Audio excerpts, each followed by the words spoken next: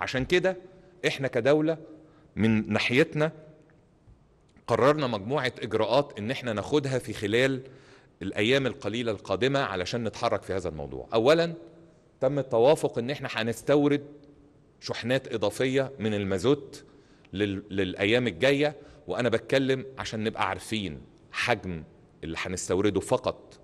اعتبارا من النهاردة لنهاية شهر أغسطس إحنا بنتكلم على ما بين 250 ل 300 مليون دولار أمريكي إضافية هنضطر إن إحنا نستوردها بشحنات إضافية علشان نعمل توازن في الشبكة بتاعتنا.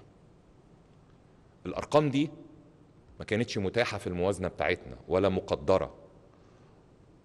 وبالتالي إحنا بنتكلم على عبء إضافي هنقدر النهارده كدولة في ظل الظروف اللي كل المصريين عارفينها إن إحنا نشوف إزاي نقدر نتعامل مع هذا الموضوع من خلال التعاون والتنسيق مع البنك المركزي. هنحصل نوع من الترشيد في المصاريف بتاعتنا مع بعض القطاعات الأخرى عشان شهر أغسطس ده نتعامل معاه.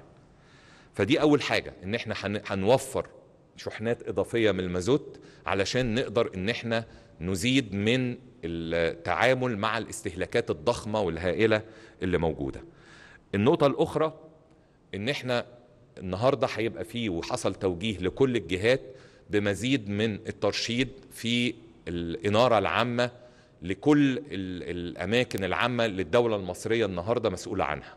سواء الشوارع، المباني الحكومية، المباني الخدمية، هيبقى في خطة تم التوافق عليها النهارده لمزيد من الترشيد في استهلاكات الكهرباء للإنارة العامة وكل الحاجات الأخرى.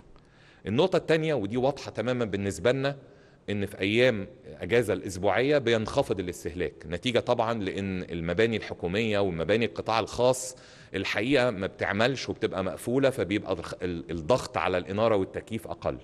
فتم التوافق إن اعتبارا من يوم الأحد 6 8 اللي هو أول يوم أحد في شهر أغسطس هيبقى التوجيه إن يوم الأحد من كل أسبوع يتم الموظفين في المصالح الحكومية والمباني الخدمية اللي هي مش مرتبطة بعمل التعامل المباشر مع المواطن وأيضا بشجع فيها الشركات الخاصة الخدمية اللي بتبقى شركات بيبقى كل عملها مكتبي إن يبقى العمل من المنزل بنظام الأونلاين.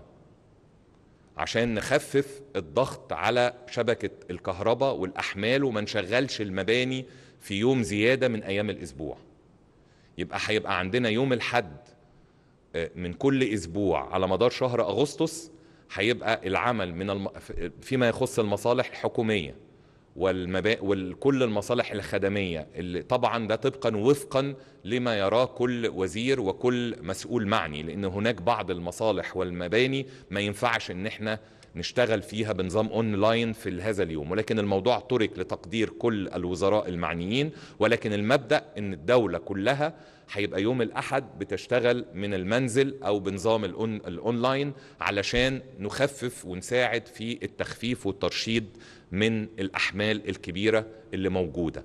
ونفس الكلام أنا بقوله للقطاع الخاص الشركات اللي هتبقى موجودة النهاردة وبتشتغل بنظام المكاتب والشغل الخدمي اللي ما يحتاجش فيه نوع من الإنتاج أنا مش بتكلم هنا على مصانع خالص أنا بتكلم على الشركات اللي بتقدم خدمات اللي تسمح ظروف عملها إن الموظفين يشتغلوا من بيوتهم يبقى أنا بشجعهم إن هم يعملوا نفس هذا الموضوع علشان نقدر إن إحنا كلنا نتجاوز هذه الأزمة اللي موجودة. الحقيقة أيضا تم التوافق طبعا يعني فيما يخص المنشآت الرياضية والاستادات يعني تم التوجيه للسيد وزير الشباب والرياضة إن المباريات تتلعب في الوقت اللي قبل المغرب. علشان برضو ما نستهلكش موضوع إنارة الاستادات والكلام ده يبقى حجم كبير يبقى المباراة تخلص قبل يعني المغرب مباشرة علشان إن إحنا نقدر نقلل من استهلاكات الكهرباء في المنشآت الرياضية وده التوجيه لكل المنشآت الرياضية بقدر الإمكان الاستادات والصالات المغلقة يبقى تقليل الاعتماد على الشبكات الكهرباء في خلال هذه الفترة إن شاء الله علشان نقلل بصورة كبيرة جدا هذا الموضوع. الموضوع اللي إحنا أكدنا عليه إن كل أجهزة التكييف تبقى شغال شغال على درجة 25 درجة. ما يبقاش أقل من كده علشان يبقى هو ده برضو وأنا بستهلك الكهرباء أبقى بستهلك بأقل كمية ممكنة. تم التوجيه فعلا لامانه مجلس الوزراء إن في لجنة مركزية لجنة أزمة هتبقى بتجتمع يوميا بتضم كل الجهات عشان تتابع تطبيق اللي إحنا اتفقنا عليه ده كله على مدار اليوم وعلى مدار الساعة.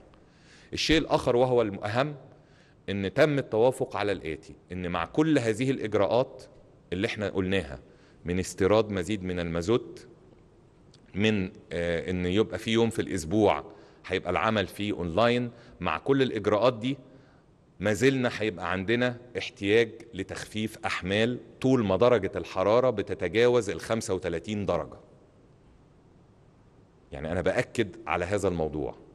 إن المشكلة الحقيقية هو الارتفاع الشديد لدرجات الحرارة اللي إحنا بنتكلم عليها بنقول عليها درجة 38 في في الظل بينما هي فعليا في الشمس بتبقى 43 و44 موجودة وبتبقى بهذه الدرجات الحرارة. طول ما الدرجات بهذا الحجم أو هذه الدرجة العالية هيبقى دائما عندي مهما كان قدرات توفير الطاقات من الغاز الطبيعي والمازوت هيبقى مضطرين إن إحنا ندخل في إجراءات تخفيف الأحمال.